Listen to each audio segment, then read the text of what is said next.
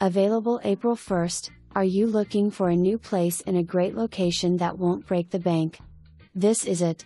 Located in between UL and downtown in thriving Freetown. You are so close to everything including Borden's ice cream and Spoonbill. This quaint little place does not come up for rent often and when it does it's not for long. It comes move-in ready with all the appliances all you have to do is bring your belongings.